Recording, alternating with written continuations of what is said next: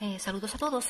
Eh, quiero darle unas sugerencias como científico.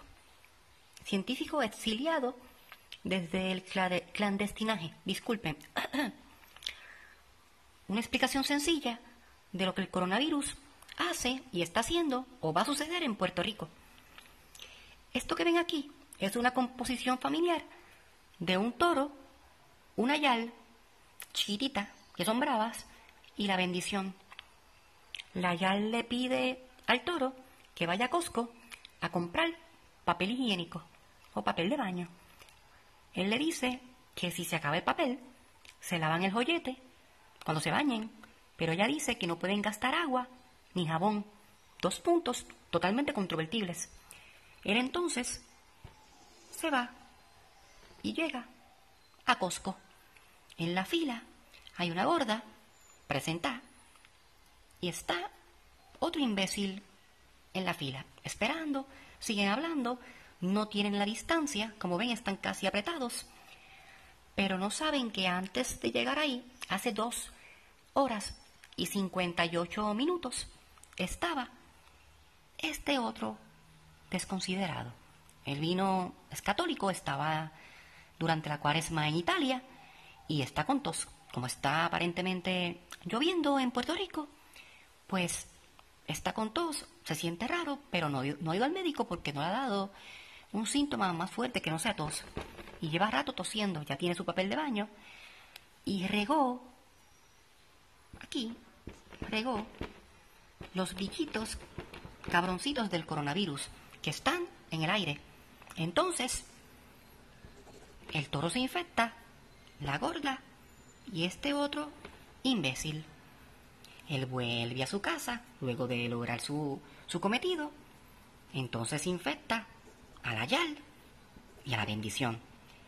Pero como el toro es tan toro, eh, decide violar o, o obedecer el toque de queda y entonces va y visita por abajo, visitó a su pobre vieja. Aquí está el toro, ya está infectado. Los, cuernos le subieron e infecta a su pobre vieja. La vieja, como no le enseñó modales al hijo, y es, es entonces igual de este, esto, esto irresponsable, va y visita a la vecina. O, o, se la encuentra en la calle, porque están afuera también. Se dan un beso, como siempre hacen. Se abrazan, se tocan. ¡Ay, mira que siento! Y hablan cuanta sandez pueden hablar. Luego, la nueva infectada se va a su casa y se encuentra con su esposo, que estaba tranquilo viendo a la coma. Ya son las seis de la tarde, llevan el día infectando a medio Puerto Rico. Luego aparecen los hijos de la pareja, de esta pareja, a visitar a sus padres, a llevarle provisiones. Estos están cuidando, están tomando medidas, salieron, vinieron en carros separados y le traen cosas a sus viejitos. Pero vienen los viejos, ya están infectados e infectan a esta gente inocente. Como pueden ver, todo el mundo se infecta.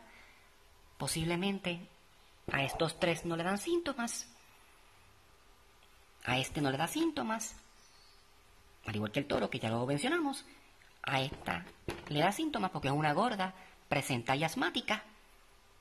Y a los pobres viejos le dan síntomas y se mueren por culpa de dos irresponsables. Por eso les digo que se tienen que cuidar y que por favor quédense en su en su casa con mi letra linda de doctor.